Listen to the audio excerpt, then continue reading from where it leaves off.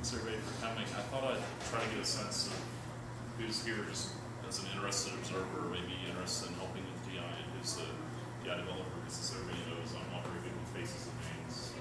Um, So could all the DI developers or people who've been involved in some aspect, translating or anything like that, please raise your hands.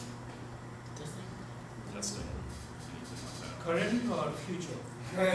Well, past, current, past. Uh, You can raise your hand. Okay. we didn't, uh, Oh, I'm sorry. Um, I just asked if everybody who was involved in working on DI could raise their hand. So, yeah. One pitch? Yeah, I, I get the sense that we don't have as many DI people here as we had at previous DebConfs. We don't have that many DI people at all. Yeah. is translating into DI? Yes? Yeah. Yeah. Um, So I guess, I think that's one thing we need to talk about. But, um, I also wanted to talk about things like the next release, um, and whatever else we want to bring up. I don't really have a big agenda for this meeting, I just thought that there should be one here. So, um, yeah. Who has an actual subject they would like to bring up? Do we have uh, two different uh, releases of Debian installer? I understand that we have a, we released the Debian installer test release three or whatever came out a little while ago. So that's for the actual to be released uh, track. Do we have something else where we can throw in experimental uh, We have- changes? We have unstable. Where we can test out things and Yes. maybe back them out if they don't work out? It's perfectly fine to do that in unstable, pretty much. Um, we do split testing, so we can still have a working installer and testing. So, Although it mostly do, do local builds before we commit uh, Right, I mean, to. Right, uh, uh, standard so- distributed software engineering techniques, yeah. It, it should be likely that it will be ready for the next uh, release for it to go into insta- install. That's- You guys are using SVN, I believe. Yes. Okay. check out CK. So, yeah, um, I don't know, I'd really like to start with just uh, beta three planning. I think that's the main thing that we need to figure out right now before we can figure out other things, so. I see, up to you. Um, well, I've kind of failed to do real planning on that up till now. Um, basically because the AMD 64 archive integration hasn't gone as fast as we'd kind of, well, expected, hoped, I don't know. Uh, at least it was slower than I expected. Um, basically because everything is being rebuilt and slowly trickles down into testing and it has to be complete in testing in order for DI to be a feasible release, including AMD 64 from, from the official archive. So that's, that's basically the biggest showstopper. Right, Uh, a related issue is that the mirror master list has not been Is it out updated yet. there? No, he is not. Okay, because he was talking about Yes, he is. Uh, he's working on it today, so Okay. that's going to happen. Uh, the mirror master list is of course essential because after the uh, installer is released, the mirror list is basically frozen until the next release.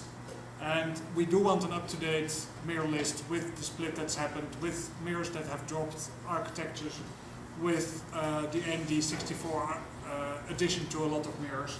So we want to be able to reflect that. Um, there have also been there's also been a lot of progress on, on, on a number of issues like the integration of the graphical installer, uh, which we are working on here at DebConf actually. The next uh, CD build will be the first one that should have a working graphical installer. Uh, we have great progress on Partman Crypto, which is uh, the option to install encrypted partition during installation. Um, and a, a- a number of other things. So I have not felt real hard pressure to Yeah. force a release until now, but we should start planning it now with one problem that I will be taking on a three-week holiday after DebConf, so...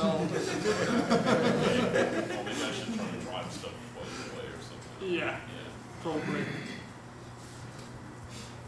Uh, so, so that's, well, when I planned it, I had no idea that we wouldn't have released uh, Beta 3 by now. Um, after Beta 3, I think we should try to slow down new development and start thinking of uh, Yeah. RC releases. I mean, we're gonna be, at that point, getting near to the break point for, Yeah. for Etch, so. Do you have a, uh, some kind of a tentative uh, timeline for when you want to stop accepting new stuff? It's it's part of the official Yeah. Etch release timeline. If you look that up, July. you will find. It's, uh, it's July. Yeah, but there's also the date of uh, like when the final uh, Debian installer release Yeah. should happen for the Etch release to be able to happen on time in December. So if, unless my memory is failing me, this, all this was uh, 15th to the end of July timeframe. Uh, am I wrong? That's for the base release, but the final uh, version of the installer is planned for later. Okay, then I have more time than I thought I did. Well, we, we should try to get your work uh, included at the latest in RC2, I guess. Um, oh yeah, RC two. Yeah. There is RC two, yeah. That's when, uh, June? Yeah. No, that will be later. Uh, I, I would guess, I would guess August, September, maybe early September. I think we're getting it by June would be a good idea also. Well, my, my personal timetable is to get uh, the SELinux changes to you guys stable by end of June. That, that, would, that would be perfect. Of course, if any of you guys want to help out on the SELinux uh, work, it will be gratefully accepted. So that is basically, I think, what's going to happen for the for the next beta uh, and, and release after that. For the RC releases, we will of course also start uh, pressing a bit harder for translation updates and uh, updates of the installation guide. So that's that's going to start happening basically uh, halfway through the summer. Looking at these other issues on the, uh, RC, on the beta three prep page, I think the, the big ones are CD-ROM on the installation. stuff Yeah. That needs to be. That, that that's being prepared. Yeah, well, yeah, I guess it still needs to be worked on quite a bit, actually. Yeah, I, I have pending patch that I need to test To what? to apt uh, apt config Oh, okay. So, apt setup yes. okay, um, yeah, And the, the main issue really is uh, persistent device names for hard disks. that would be great, and it isn't on there, man. No, it's uh, that, that- it's at the top I think. Should be. No? No. It's not on there, but, um. Um, I've been wanting to do that for a long time, but for some reason or another, I haven't gotten around to it. Uh, we, we need to set up a meeting with Waldi, uh, Andy. Uh, yeah.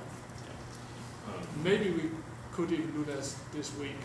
Uh, try try to find a time slot where we can set up an IS meeting. uh, um, do you know any more about the status of MD sixty-four getting in?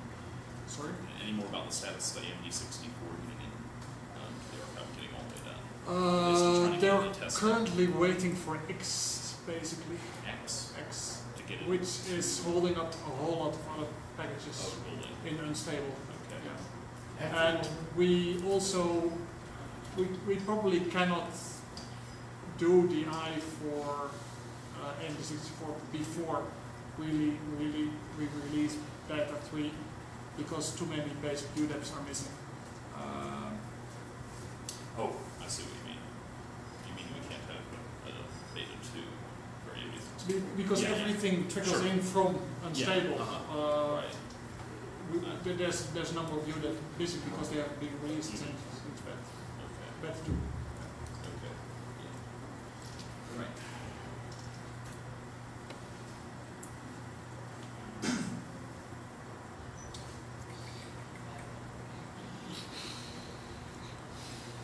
What's the best way to uh, submit bugs for hardware specific things like uh, a certain Dell laptop um, has a SATA drive and it, um, you know, like with the with the Sarge installer, it um, it doesn't load the libata for SATA. It treats it as um, it treats it as an IDE, and so it's slow. And uh, so you try the 2.6 with um, with Sarge. And I realize this is Ash, but um, I'm just talking about um, bugs and uh, uh, reporting bugs. And um, so you try the 2.6, and the drive is SATA, it works good, but it misses the CD-ROM then. Uh, well, basically, if you want to submit bugs for SATA-related hardware, for Sarge, don't bother. No, no, but it's the same, the, the same issue, the same issue is with the etch installer. With the Etch installer, It it should misses the. CD-ROM. Yeah, but it should work if you look at the wiki page uh, on SATA Atapi support. Okay. If you follow the workaround that's listed there, it should work. Uh, Just a, Uh, to answer the actual question, the best way to follow the bug is to go ahead and submit a full installation report. Yes. You know, with all the details Okay. and make sure that it's good enough that somebody's So can the, actually. the, the installation report is in slash root, is that where, that one? That's not there anymore, but yes. You can type report bug installation. Okay, okay. But basically, uh, the, the, the missing CD-ROM is a known issue. Yeah. Um, the, the, the kernel team has made the decision to wait for activation of um, uh, SATA ATAPI support of, uh, until the upstream kernel maintainers feel it's ready. Yeah. Uh, a lot of other distributions have decided to enable it earlier, which is their choice. We are dependent on the kernel team for this. It's not our decision, it's not the Sure. installer team's decision. Sure. okay, Um, as of two six sixteen, in the live ATA dot, oh god, detail, whatever, the- there's a variable, um, enable a copy. I think as of two six sixteen, that was still set to zero. Yes. I, I have written email to Jeff Garzik to pressure him to change it to a one. He had promised to do it by two six sixteen. Two sixteen came, and now he's promising to do it by two six seventeen. I'm wondering if it would help if we pressure him to change that. It, I've been testing at least in our hardware, and I've had no trouble. And I asked him, "What do what do you need done for you to change that from a zero to a one?" He said, "Well, don't worry." In fact, he says, "Don't worry, don't," and he will do it by two six seventeen. So I'm wondering would it help if we were trying to pressure him, or just go ahead and change it, ignore the fact that he didn't change it, and change it ourselves. I can't hear. I can't hear. Maybe somebody from the kernel team wants to speak up on this? Um, you know, I can't speak for everybody in the team, but my opinion, it should only be done if it's done upstream first. Um, so yes, if you want to get it done, Debian, talking to Jeff Garzik is the way to go. I don't. He's saying do it. Two, he's gonna do it two six seventeen. I don't know what more we can do about it. Okay, but we don't want to change it ourselves.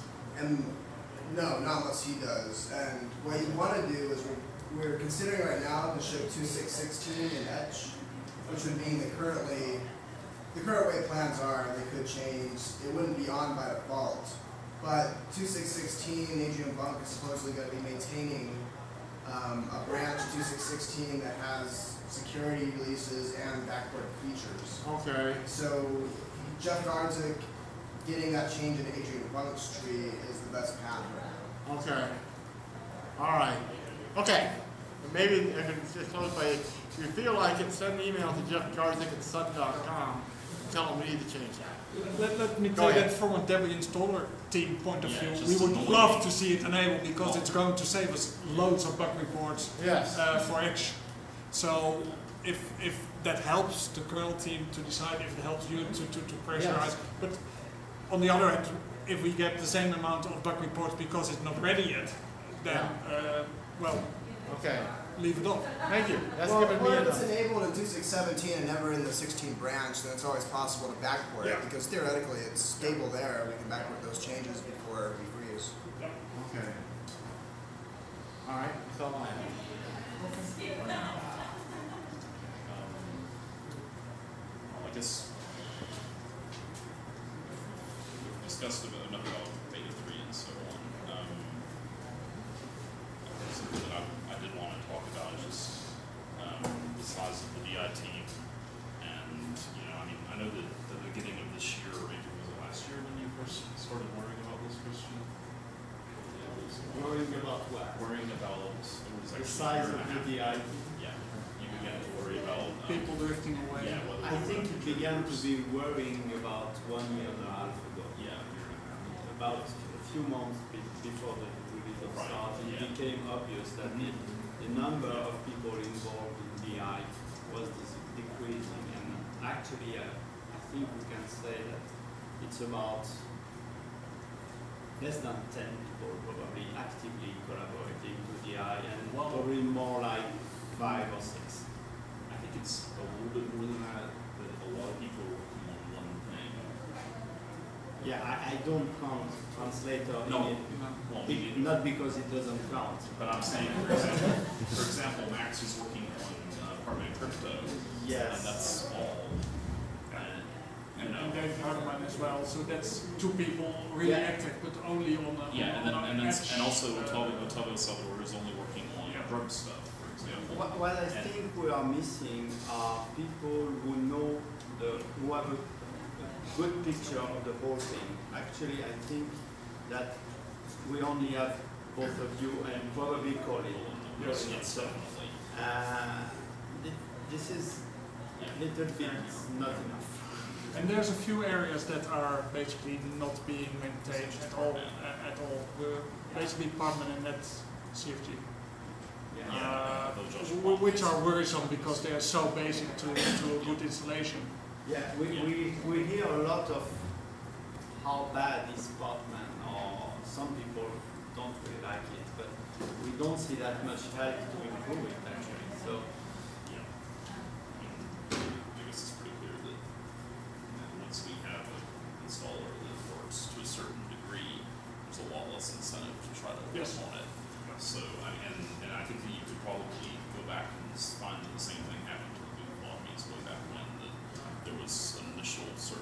smaller for DI, but still, and then it just trickled off until it was added to Carlo, and just fell off the face of the planet. There was no more boot floppy maintenance. um, which we don't want to have to. Yeah. For, for most areas, there's, there's still a lot of features that can be added and, and real improvements for usability that can be made. Uh, that, that could be very interesting to work on. So, uh, well, after what's now two years for me, I find it still very challenging to work on the eye. So, I would hope that more people uh, will, will trickle it back in. Yeah. I think Laura's. Yeah. Um, it's more of a comment. Uh, I tried helping with the Debian installer team, and I found the overhead of trying to work with the Debian installer team took more time than I had available. You mean that we're gonna just keeping up to date on all this? Yes, well, the, the, at that point in time, which was well before the Sarge release, things were being updated faster than I could patch them. And so by the time I developed a patch that worked on SPARC, the code behind it had changed totally. Um, the Debian boot mailing list has so many messages that, you know, trying to keep up with that is, takes, you know, if, if I was, if I was actively trying to do that, that would take a lot of time. And most of the messages aren't of particular interest to me. And so, somebody trying to help with a small portion of the Debian installer winds up getting locked out by the overhead.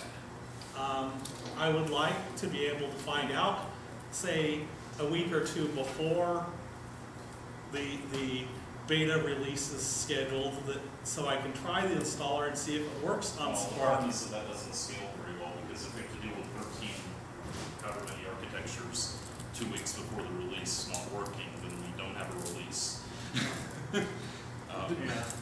Well, I- and, and, uh, and I can, you know, I, I don't really have time to do t- a test every week, you know. if- Well, the, the, since uh, the Sarge release, there has been one really major change, only one really major change, and that is the switch uh, from 2612 to 2614, which involved the uh, removal of DevFS and the complete integration of UDEV. And we've also had the rule based config, which is also. Yes, and- which was and- the And RC. yeah, but that doesn't really affect uh, architecture-specific stuff that that strongly. And, and, and DI Beta two basically didn't, uh, didn't, couldn't find my hard drive at all.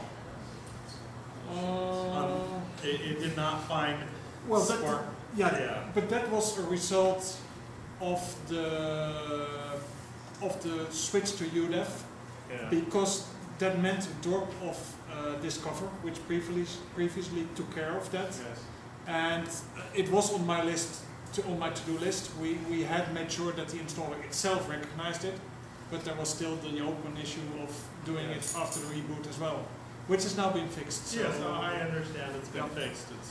But yeah. Identifying issues like that is very important. I have only an, an uh, Ultra 10, so I cannot test all the S-Bus stuff. Right. So getting semi-regular installation reports about the status and, and maybe uh, if you identify a specific issue, Should I do it monthly or? yes, that would be great. Yes, We have Absolutely. the, um, the person who's just came in working on, wanting to work on PowerPC. I don't know if you saw, he just said on the list that he's Yep. allocated a weekly Yep. time chunk to do a test install, for example. You know, something that frequent or. that, that's very, very valuable. Yeah, yeah, Yeah. definitely. Uh, I have two questions on the, from uh, from uh, the Skolelinux custom Debian distribution viewpoint that I've overheard is that the automatic uh, partitioner has we have our own Yes. and it's you know I, I believe that Peter told me that the code was not so it would be nice to change it but Yes. something has to be done and I don't know how that is integrated. Yeah. The other question is how to make the uh, installer or describe how that people can make more custom Debian distribution using reuse the installer as is, with no changing anything about the installer, just plug it in because we have students asking for a project that could involve making some special case of Debian on some special case equipment. So these two questions I want to Um, address. was taking um, auto park kit, well, auto, autopartkit first, and it has been like a year since I worked on anything Skolelinux related, so I may be out of date. But um, as far as I know, the issue is that it it works very similarly to part manning on you know in automatic mode, um, but it doesn't. And it's you know we can now set up LVM using partman and so on, which Skolelinux wants, but um, we don't necessarily calculate partition sizes using the exact same algorithm. So, you know, you, the things that are tuned specifically for Skolelinux, so you know how they work. If you switch over is going to change. Yeah. You might end up with getting slightly different ratios of sizes, different conditions, and that kind of thing. So I think it's just a matter of Skolelinux deciding they want to switch over at some point and just flipping the switch and switching over. Yeah, we will probably switch. Peter said that we would probably, but, Well, I think that'd be great because then you can, then we'd have a little bit more people working on Partman. but uh, we have not, we have to do some enthusiastic persuading, I believe, in our because uh, yeah, we, have, we haven't had enough people there ourselves. We have to, Yeah. yeah, work. Right. But if you want to get maybe some changes in to better support Skolelinux, I guess you should not wait too long Yeah. uh, to, to, to start working this, to start the transition. Uh, The thing is that I have to start arguing on the school Linux list and get some people unfriendly with me. I will. Okay. That's The other question was, Yeah, custom Debian distributions. Yes. Um, I mean, I it down to using preseeding and using custom UDEBs and custom kernels. And we really need to document better a custom kernel. How do you, how to make, put your own kernel into DI? And it'd be good if we documented better how to add a UDEB to DI, which, I mean, Francis got a new talk on DI internals, which probably documents everything you need to know if you read the paper any of the DI. But, um, It doesn't cover, uh, the actual build, it doesn't cover building kernel UDEBs. Right, yeah. So- Well, the issue with building a whole UDEBs is that nobody, I mean, people have done it, but they don't know Yeah. how to, and If you want, if you want to know how to do it, just mail Kenshi. you need to write a good code. But uh, There are also, we are talking also about uh, maybe pulling some of that back into yes, kernel back package. back or, uh, So that people can build their own Uh-huh. units Uh-huh. easier than having somebody else build a whole kernel image there and wedging out parts that you don't want. Right, right. uh, it, it, need, it needs uh, very really really hack. um, maybe um, it, uh, uh, normal way. It, it's not not normal way, and uh, uh, I, I, I don't think uh, um, my my doing uh, is not the best way. Um, But at least it's a way that works, right? Yeah, but the, the debate thing is that because of the change from Discover to UDEV, the, the backports were fairly major. Uh, so you, you really had to, to jump into the installer and backport a lot of the changes Yeah. we've been doing uh, after Sarge to get Sarge installing uh, something later than 2612. Right. Uh, many points are taken from uh, uh, Etsy, Etsy installer, uh, but maybe I miss uh, some points. so I, I received some reports. Uh, oh, I, I can't install UI, my UI image, but uh, I have no time to to trace. If we get back to the low mount power issue, Yeah. and I guess also the high traffic list issue, that's part of the problem. Um, I don't know, um, we could, could try to split the list or try to have an announcement list or something if that would help people who are just, you know, not deeply involved in installers need to find out what's going on. Um, or we could choose to have a more announcement or something. And, and maybe go forward with splitting the bugs out of the yeah, list, if I can figure out a way to do that. I need to go talk to Don or something, try to figure that out. Um,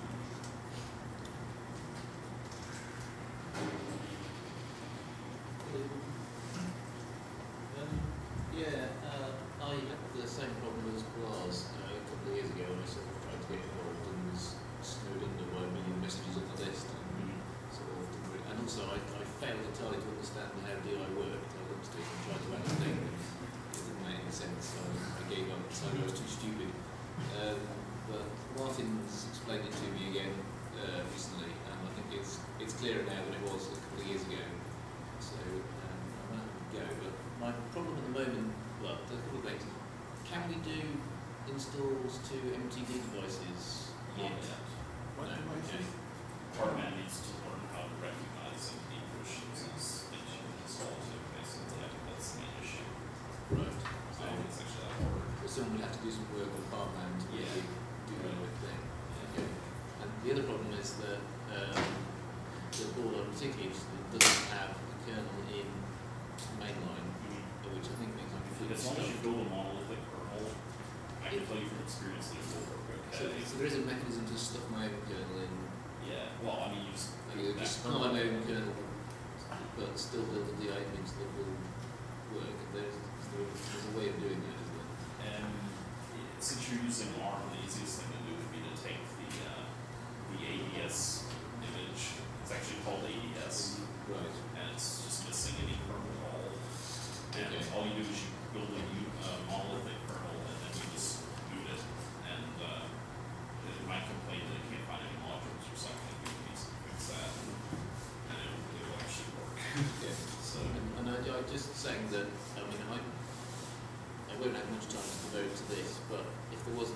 list saying, there's a new list, please can you give it a go, sort of thing.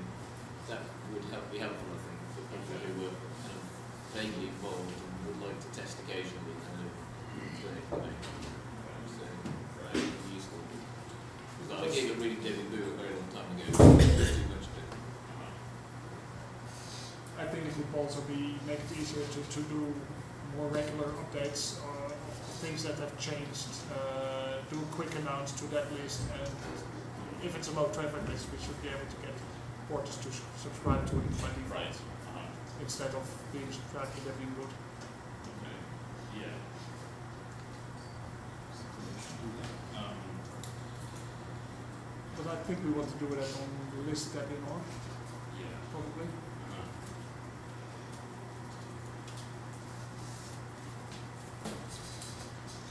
Um,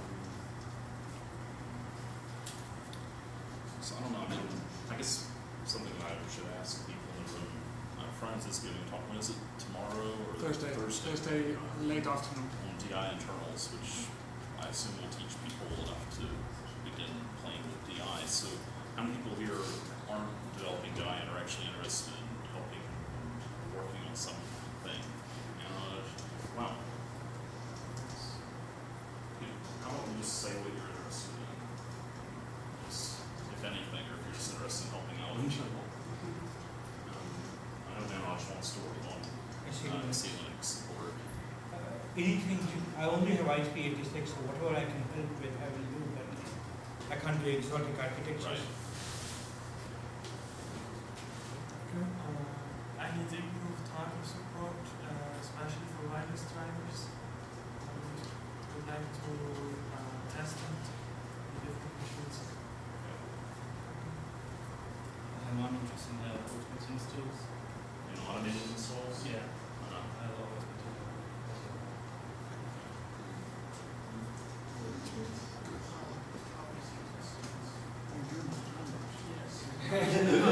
I'm, I'm very glad you exist. I didn't want to see you here. Was there anyone else? Or was that it? Um, yeah, well, just boards that um, we produce really, like, like to be supported um, a bit. And I have quite a lot of random arm hardware I can test on, but nearly all of that requires uh, MTD support really. I think it's the hard business.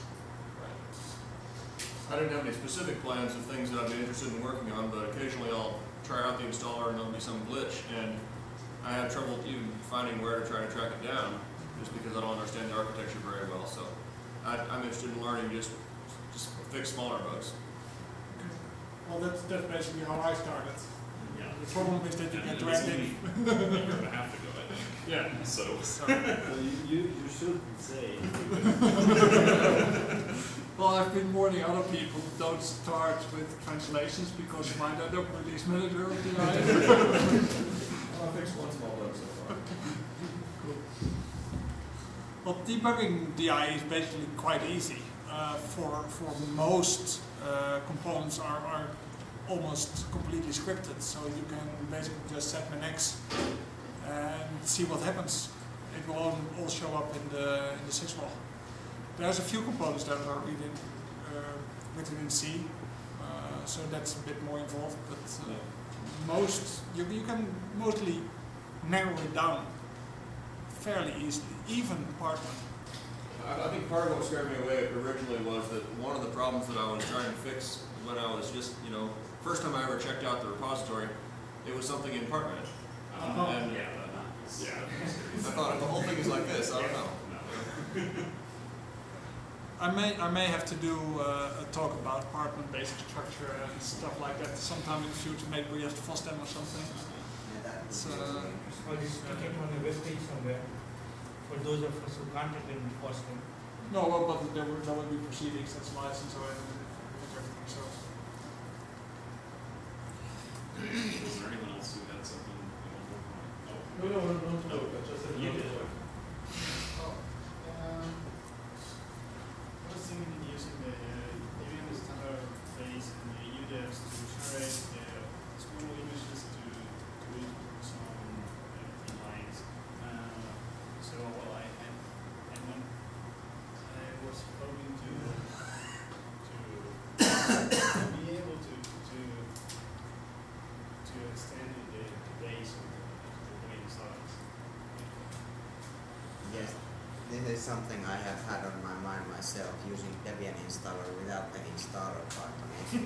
Yeah. Like, ever since the NSLU2 installer came out, there's like, hey, it already has SSH.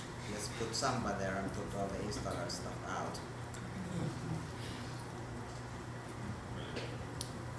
I mean, I know that that's something that we've been talking about for quite a while, is one option. Uh, Isn't the Ubuntu Live CD basically Debian installer without the installer? It starts out with parts of Debian installer. Yeah, I really don't know how it's designed. Basically, It, it, it does run major portions of Debian installer. you know, I think it runs different parts of it throughout the process, just all of it. um, Just times of selection and stuff like that. That might be interesting to pull in. Live CDs. Uh, And we'll still work on it.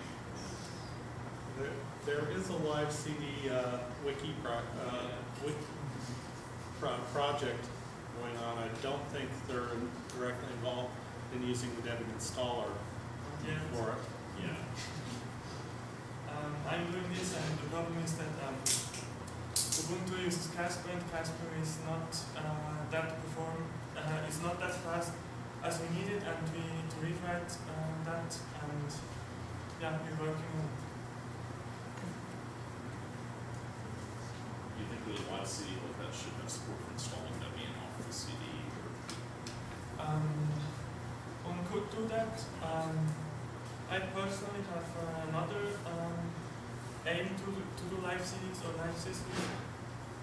Um, the current uh, Debian installer is great, and I personally don't have um, the aim to replace it because um, why boot first a live system and then install? You can just uh, launch Debian installer, that's faster. But it could be done. I would love to have it, something based on Debian installer rather than Knoppix that I carry around, so I could, uh, you know, infect other machines as I come across them, and still have something that I can use to rescue my box when I screw up LVM, for example. Well, Debian installer does like a rescue mode now in Etch, which works pretty well. Which does support LVM and RAID, so. Well, that's the problem in adding to Knoppix. Knoppix doesn't have LVM two and so. I'm sorry to interrupt, but I'm just checking out the stream and uh, it's barely audible. It would be very, very helpful if people here could be talking like three or four times louder. it, it would make that uh, audible to the people outside. The problem is when I put the level up, you hear the machines and the Exactly. Uh, the noise level from the fans and the machines usually blocks the speakers out. Can you pass around the mic? Do we have a mic that we can pass No. around? Joey, speak up. Only guy from. You also. Yeah. You are proud of you.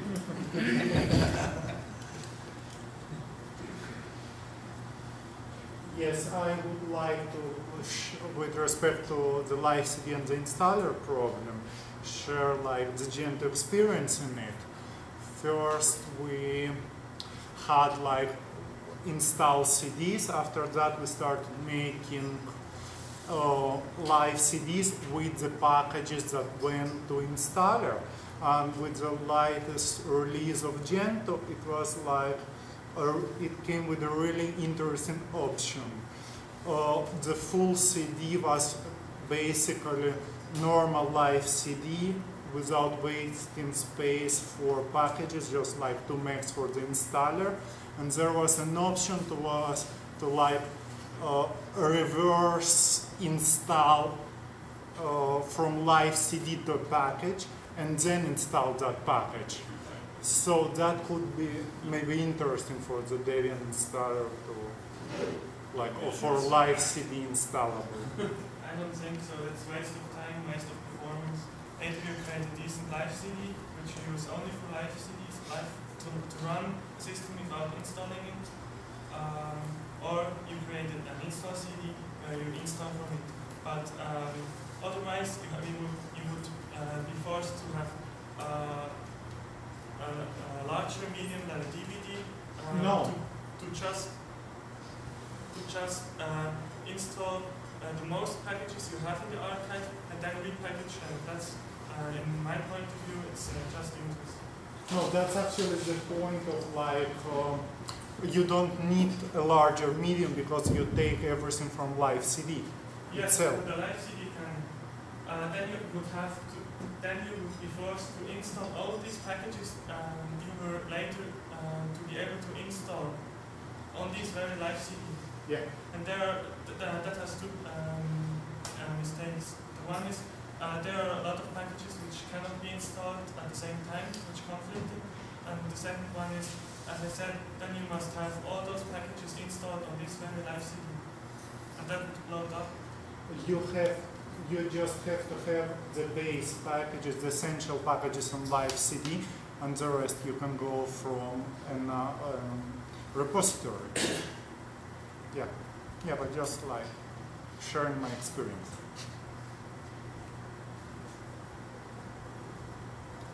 I think basically as the DI team, we are not that interested in doing live CDs uh, because basically we have our hands full doing the, the, the installer proper. So if, if that is going to happen, we need really need extra Well, capacity. The only reason I asked is because, I mean, it, it might be worth, um, at least putting, say, the NetBoot version of the graphical installer on the live CD or something like that. So you can still install Debian from the CD if you really want to, if you have a network connection or something like that. There might be, I, I just wanted to make sure that we were thinking about, you know, thinking about, yeah, I don't really think that it's DI's purview to make live CDs, so. Also, uh, the problem with the packaging, the, the packages that you have in a live CD is that in many cases it's it's a live CD that is customized. So you have tripled down all the translations that are not related with specific languages. So you can only use it for those languages. And repackaging those packages doesn't get you the original package itself. It gets you something totally different. But that's uh, one of the key points why uh, I want to have an official live CD for Debian because we do not alter any package. Um, all packages which uh, are on the live CD install are uh, unaltered Debian uh, packages the most. Uh, so this point is not really valid. Um, but I want just to say that um, it could be technically made to, do such a live CD which can have an installer on it. Um, but that should never be uh, a superseding installation, uh, no, um, a superseding for uh, the current um, Debian installation CDs because they are much more regular.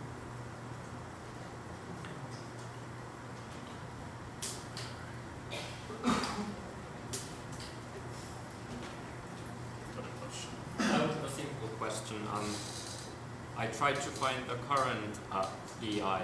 Do we have it here on the local network?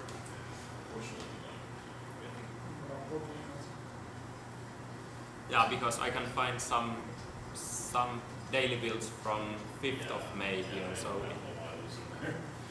should we ask for it to be mirrored here?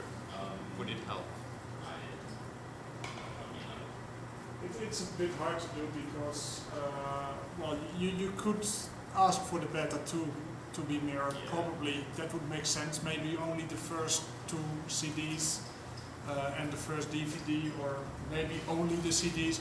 But it's going to take up a huge amount of space and bandwidth to, to get them if you want to get them for all architectures. And if you're not going to do it for all architectures, how do you decide again? It's, well, you could do i386, uh, AMD, and uh, PowerPC, I guess. But But here we have a local mirror, could it make sense to have the, the net install images that would be small? we are thinking small. Yeah, but If we wanted to do testing here, is that what makes most sense to to install from the local mirror Yeah, that install? would be, I've been testing that new image, small enough to download from the web without really affecting the conference, and then you can just use the mirror for the rest, so. I've been doing uh, the business card image, which is even smaller, has is self-contained Oh, I- with regard to Net- the NetBoot comments. oh, netboot. Yeah.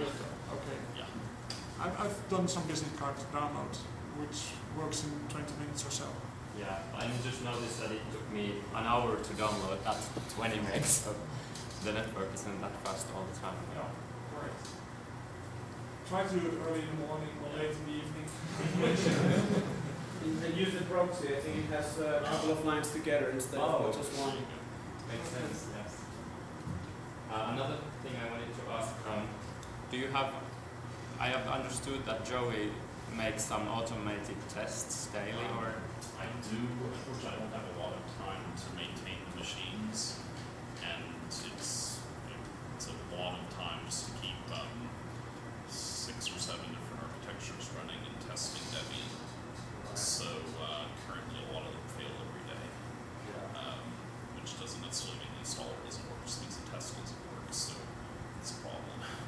And, uh, I, you know, I try to, I could definitely, if somebody's interested in working on that, I can give people accounts and root access to the machines and everything. I'm all set up for it. And I'm also, I've also, um, successfully, this, uh, test setup, which is called digress, has actually been successfully deployed elsewhere too. Topo Seven, where I actually set it up in Brazil, um, to do testing of their derived distributions, so. Um, it's mostly useful just to know if, if anything major in the installer is broken. You can't test everything it. Yeah, I wasn't actually um, asking explicitly of the automatic installs, but um, more generally about the coverage. Is it somehow possible to, for example, see which uh, configurations have been uh, tested the longest time ago or something like that? Um, unfortunately, not really. Um, you can, you can go look at installation reports and see if people have tested, say, a RAID or an LVM install lately. But there's just so many permutations, and we don't really have the metadata about how exactly what everybody installed and stuff like that. So there's no real way to do it. There's probably too many different combinations to even think about. It still is our main source of information about uh, issues, the installation reports. It, it's very important that we keep receiving them, even if we don't Even if we can't. don't always answer them. them We, all. we, we still read them all and we kind of see patterns Yeah. developing. Right, uh, And two people report the same breakage. Yeah. But it's obviously not some mistake that they made or a broken image or a broken piece Or of hardware related. You know, it's something that we have to go look at and fix, so, yeah. But it would be nice for the testers if you wanted more people to test to have more coverage than to for other people to see these patterns. I don't know, should it be some kind of automated metadata gathering and analysis? Yeah. So basically, you can ask for people to test something if you know you want it tested. Now, I think what you're asking for is some sort of machine parsable installation report. Uh, Yeah, I suppose. There's so much information, random information that could go into that, that I don't know if that would be feasible. And often the, the real problem is, is kind of hidden in uh, a fake description of, of, of what people are seeing and, and you have to have some experience with reading installation reports to, to even uh, identify what the issue is. Uh, it, it's, Yeah, it's, it's one of the hardest parts of, of working on the installer actually, I think. Yeah, looking at the installation report, it, it looks to me as though it's, it's about as structured as it can be for the information that you're, you're providing. So, I, it just doesn't look to me like there's too much room for making it more structured so that it could be more parsable. Well, than one, one idea I've, I've had uh, on that is maybe you, you could set up a red form uh, where, like, for example, based on the uh, architecture you choose, you get only a limited list of the uh, installation methods that, that are supported.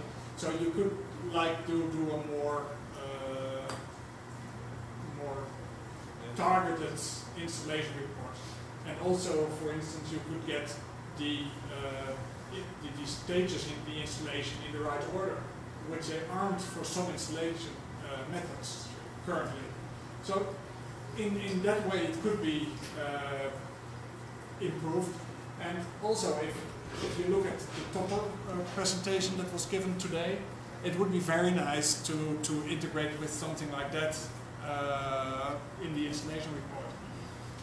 Yeah, I was, I, I've been talking, I was talking to them after the, after their presentation about that. Um, Would be great, and it would solve a lot of the hardware only issues at least. At least those are easy to. But that basically means that we would need uh, uh, an installation report tool instead of just uh, using reportbug. We would need- need a dedicated tool probably. Oh, you could use reportbug instead of have a GUI written on top Yeah. of reportbug. Wouldn't it be possible and kind of easy to at least for network-based installation for the installer itself report bugs with its current state and logs without having to repeat a bug report on a web form, email or whatever? Um, yeah, I mean, I guess we could make the installer, you, you- you're saying it actually has an error. Yeah, no, yeah, I'm saying like if there was an error during installation or Right. whatever, or Yeah. if there was no Yeah. error but the problem was with the start, it can keep logs on the system at least in its pre-release states. Yeah, um, I mean, right now, if there's an error, you can break out and start the, uh, web server that's built into the installer and download the logs. Um, yeah, it, it it definitely would be possible to make it send stuff to the BTS, so I think we'd probably just get overwhelmed and, you know, reports, maybe the BTS is the right place to send it, maybe sending it to some kind of another tracking system would be better. Would. Yeah, exactly. I mean, you, you'd have, you'd have to have something that lets you look at correlate patterns instead of looking at individual reports. So we need to So- hire Dario or somebody to, to Yeah. do some filtering and Right. uh, Yeah. Um, of course, one of the issues in implementing is that we don't have an SMTP client on the installer. You know, so I mean, you can write one in shell. I'm, well, actually, I no, I take that back. The installer does have an SMTP client written in shell. I just don't, we're not using it right now. Because it sucks. so you can write it better, it doesn't do retries. One thing I'd like to, I found, uh, I, I had a half broken install, it, you know, kind of got started but then got stuck. Uh, so you can fall out into the shell. But I couldn't find anywhere any docs which told me what runes I was allowed to type, you know, what the, the DI equivalent of go and get me a package is. Uh, Right. You know, because there was something missing so it wouldn't install it, the wrong version of the module. And I was quite sure I could fix this manually, but it was incredibly hard to work out how. Yeah. And I don't know if that document exists and I couldn't find it, or if it's simply not written down anywhere. It exists, but it's completely hidden. Well, so it. I'm thinking about the uh, Debian installer utils README. Um, I, I think it'd be good to have that document for preseeding too, because people who are preseeding need to know how do I tell it, how do I tell the installer to install a Debian package, for example, things like that. I mean, anyone who gets a broken install but is smart enough to get wander into the shell and go and fix it, Yeah. you know, needs to be able to find that Right. out. Yeah. Um, so that would be a- an improvement that's Yeah. presumably relatively painless to make. Well, I think I'll, s- I think I'll start a wiki page on that and try to, you know, throw to get, throw in at least the most important tools that you have and then we can maybe point install, have the installer point you at it when you start a shell or something like that. Yeah. It's also partly covered in my workshop. Oh, is it? Yes. Okay, maybe I'm just it. And it's also partly documented in preseeding. We, Well, yeah, do- we do we, we do mention uh, apt install and, uh, anna-install. Yeah, right.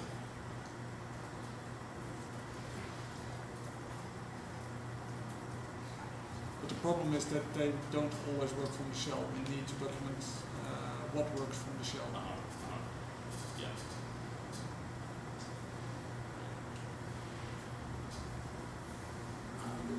I have one question about the DHCP client. Right Yeah. now we are using the version 2 because of the size, and Yeah. um, I I checked it, it's 40 kilobytes 2 and 140 kilobytes version 3. Um, and the main problem are the floppies. Yes. Um, I thought about it and discussed it with Andrew Pollock, who is the DHCP 3 maintainer. Right. Um, would it be possible that the installation uses version 2 but installs version 3? Well, here's, I mean, here's the problem. All DHCP clients aren't alike, and if you, I mean, you will get in situations where they install version three would have worked, or they'll get, you- you'll find situations where version two happens or version three doesn't, if it installs this specific networking.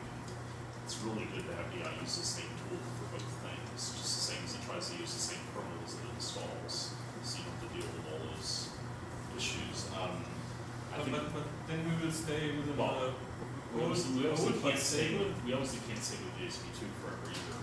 Um, I'm not really sure what the floppies are looking at like for two point six as far as, um, how much free space there'll be. Um, do you know? No, not at all. yeah, I mean. But, but I know it was a problem because it couldn't fit USB on it, so. Well, but that was on the, uh. root That's on the floppy. boot floppy probably, Right, so it's yeah. the root floppy that's the issue. And uh, it would be possible to move those floppies so that we could, uh, you would just need, every network installer need three floppies, which really sucks instead of two. Um, you know, if that's what it takes, that's what it takes. I'm gonna move some floppies anymore. There, there was, there was after you, probably after you prompted him, Andrew started a new thread on Debian boot Yeah. about the DHCP client and uh, threw another option uh, Oh, around. the- Yeah, the nano, whatever. But the, the the problem, problem. yeah. The, the thing is that we are now uh, also having the option that you can preseed using the DHCP server, so you define which file to uh, download in your DHCP server. And that requires options that are not available in the lightweight DHCP clients that, Well, that are out there. So they would need to be extended to, to offer that uh, to be usable for DI in the current situation. I, I'd, sort of like to wait and see how, what happens with the two point six floppies, and just see how the space situation looks, and then we'll probably be dropping to two point four floppies, so we don't have to worry about them. And then we can look and see, you know, reorganizing things so that actually fits. If we want to do, if we want to use DHCP three in the in the installer, we will need to get the UDEB recreated. I know, it's easy uh, do it, fine, just check out the sides again, and periodically check it to make sure it still doesn't fit. I don't know why. I, I haven't still, I still haven't figured out what the other hundred K does.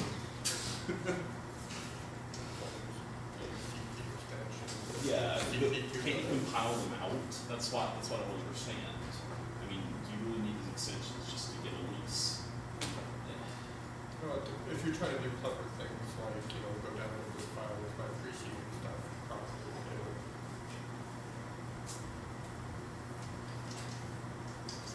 Or you need some subset. Yeah, yeah. You to strip you know, stuff out.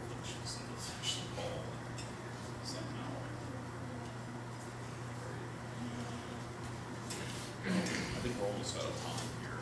We're, I don't know, I'm, I'm sure, I guess we have all night if we want, but, um, what else, anything else? Um, Well, there's one thing I think. And the, um, the handcuffs, when I went into- And unfortunately, uh, it's gonna be too late because obviously, from what I understand, Debian Etch, it will be based on the two six seventeen. Sixteen. Sixteen, two six, everything today, Southbridge in it. Um, which are the, the south bridges that I'm concerned about. Um, I am very happy, uh, Well, I, I think I just looked it up and I think it was already changed. Oh, did you look in, which one did you look at? Get. Huh? Get.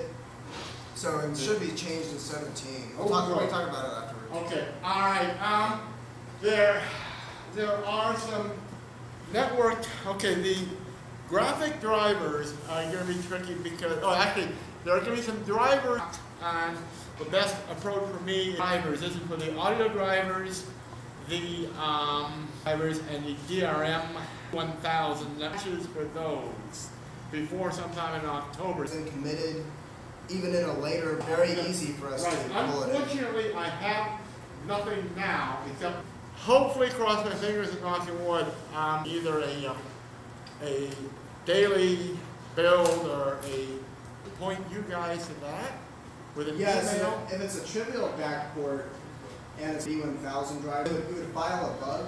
A patch file. Or, or a pointer to the Okay. patch is better. All right. Um, the thing I'm concerned about and on the shoulders for uh, later this week. Keith, Key and Keith Factor, I think Keith is also going to be around. Yeah.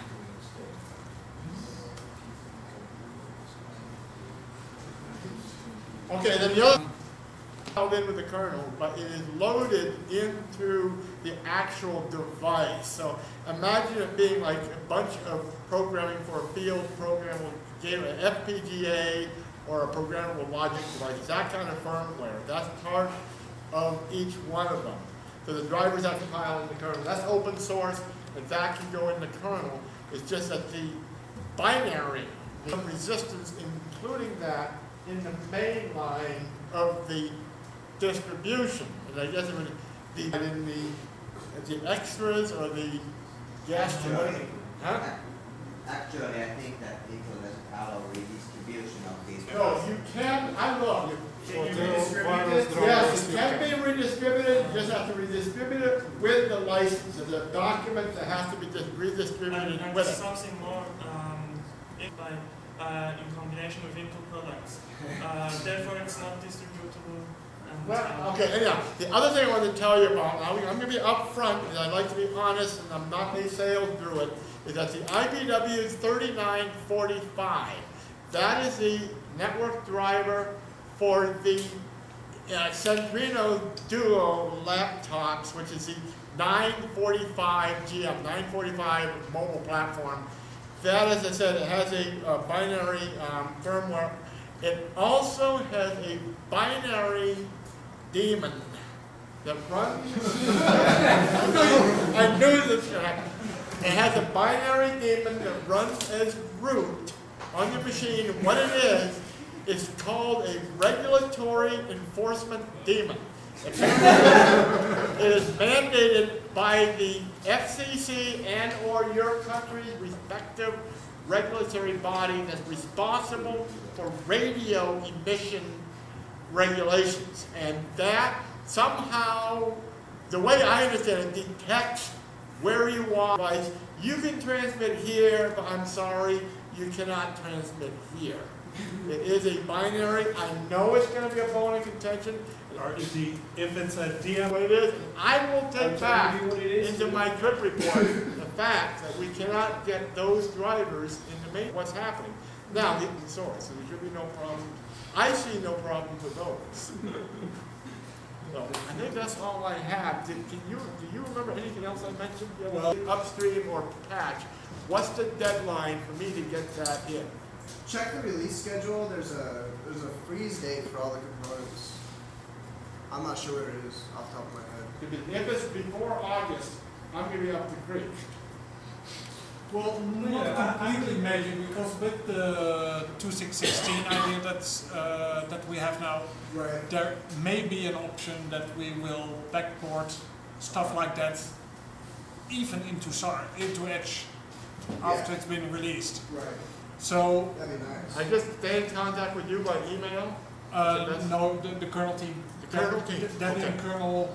uh, Yeah, I'm on that. yeah. Okay, that's the kernel, okay. I have a question actually for the Debian kernel team representative here.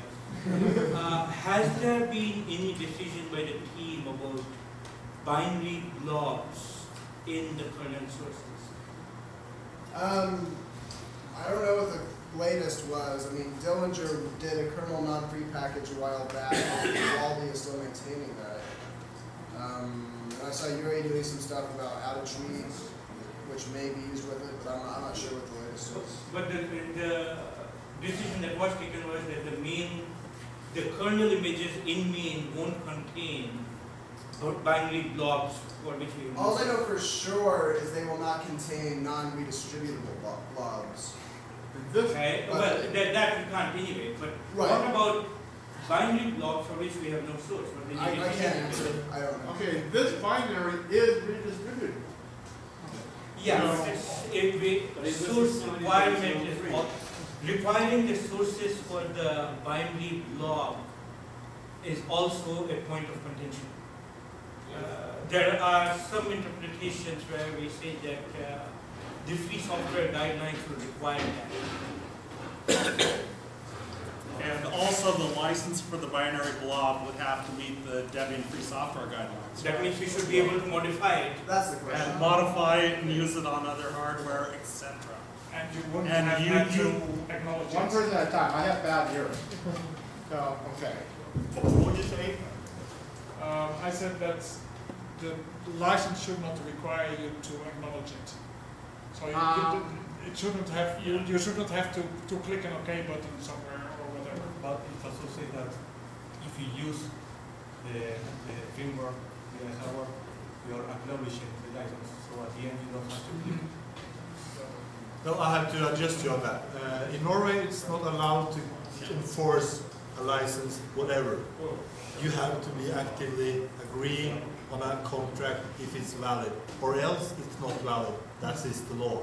So if other countries accept, and this is interesting, uh, uh, that Intel, that is an American company, that has a license that is not validated by the local law, and I have this from the government in Norway, it's not valid, and it even says it's if it's breaking the law in your country, it's not valid, and you just can forget it.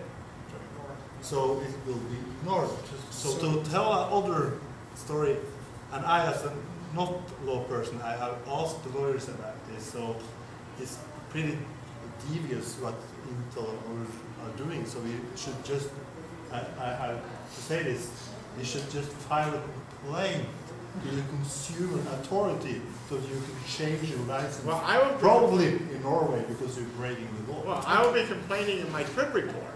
I'll be making a complaint in my trip report. Do you do that? Man. And you are agreeing with us? Well, I, personally, I am. Thank you. But as a representative of Intel, I would just take our. Yeah, I understand. Yeah. Corporate. So it sounds to me like those drivers then would have to be submitted to the contrib section. And that, that, is that a separate submission process? Or do I still submit it to the kernel? They're already in contrib. What? Are you talking about the wireless drivers? Yes, that require the blocks. Yeah, I, I think W twenty-two hundred and twenty-one hundred, and those things are already in contrib. Okay. But any changes to them, is there a separate email list for contrib stuff? No, whoever, whoever's maintaining those packages is. Okay. He's, he's the one who gets the upstream sources and packages them up and puts them in contrib. So the bug tracking system is typically your, your approach for asking for updates in general. Okay. So whoever maintains those packages is, is the person who would get that bug report. They're not maintaining their own fact, but, but um, uh, as Intel provides new uh, snapshots uh, of their drivers, which uh, to make it in mainline um, some months later, uh, I'm considering to adopt them uh, because I need them for testing. So, we'll see. Uh, uh, one more thing. If you want to keep track of certain packages, there is a mechanism called the package tracking system where you can subscribe your email and every time a new version and update of that package happens, you will get an email. Uh-huh, okay, all So that's probably the easiest way of keeping track of any update in the mail. Okay. Well, I think that we're pretty well over time and subject. Um, so maybe we should just Yeah, close. that's all I have, thank you. Yeah, um, I, I guess one thing that I did want to mention is that DI doesn't have any support right now for installing non-free drivers. So people have to do it all on their own after the installation. And if anybody wants that to work better, you know, that's a big chunk of work that has to be done still, so. I can't hear you. I'm Oh, I'm sorry, I'm, I said that the Debian installer doesn't support right now installing, um, non-free stuff as part of the installation. Right, okay. So i- i- if it's in Debian non-free, you have to go get it yourself and make it I fully yourself. understand that, okay. And so Yep. it, it is, there are, there is the possibility of making DI have better hooks for non-free stuff so that it could actually install it and or use it during the Okay. install. It's just a question of somebody becoming motivated enough to go do it. Okay. Um, so, um, There is some progress on it, though. Uh, Bastian Blank has Well, started yes. uh, on the. He is actually also working on the kernel side to implement the, the separation. Uh, and well, basically, it makes not that much sense to do it in the installer before that is ready because you have to know what your environment is. Um, and we need a little bit of help from our FTP masters to uh, provide us with some Debian installer sections in the archives for experimental, so we can actually test this and develop it further. And we've been waiting for that for a while now.